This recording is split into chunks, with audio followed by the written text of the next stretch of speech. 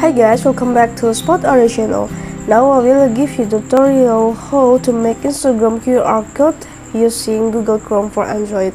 And before that, I wanna ask you, how are you guys? So don't miss of our videos, don't forget to like, share, and subscribe to the channel. And now let's start it. First, we go to the Instagram application that you have been to install it before. Click on the Instagram and after that you can click the symbol of the profile in the below of the right corner. The next step you can click the three strip in the upper of the right corner.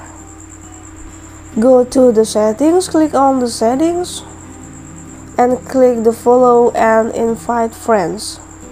Okay there is have a five of option for you you can click the invite friends by in the last one.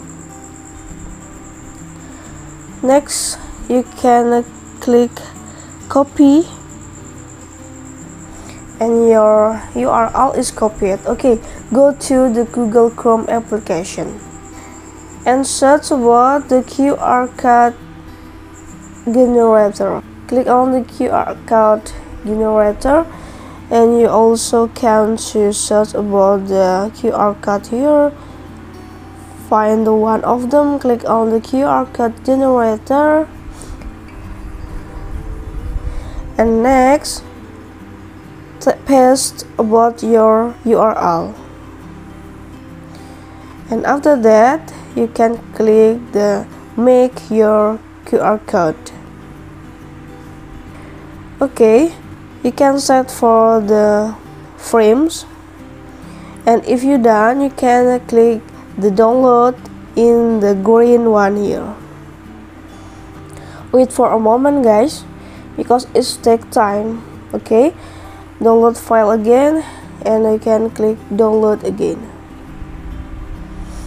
So file is downloaded. You can open it. And this is your QR code for your Instagram okay? It's very simple way to do it. This is a tutorial how to make Instagram QR code using Google Chrome.